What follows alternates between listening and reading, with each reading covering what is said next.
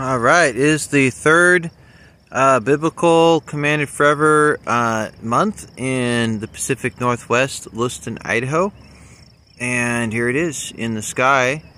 It's up, it's at like 9.06 p.m. Pacific Standard Time on the 8th. So uh, the 7th, it uh, should not have been visible um, yes, last night. I don't think it was, I didn't see it. And it is visible tonight. So there it is. And remember to give your new moon offerings. Do not buy or sell. Um, if you can eat with your families, there's there's different uh, things that they've done.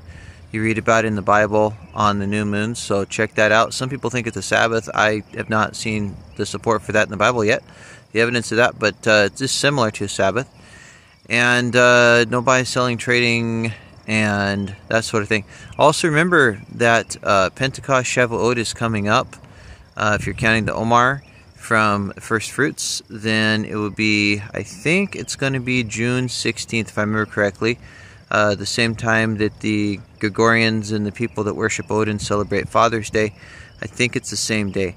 Anyways, so there you go, and uh, I think that's that's it. Um, so thanks so much. Go to BibleCourts.com. And if you're in the Lewiston, Idaho area, please check out the Messianic Bible Observant Assembly on BibleCourts.com. All the information is there on the contact us on where and when we meet. So thanks so much. Have a great day. Shabbat Shalom.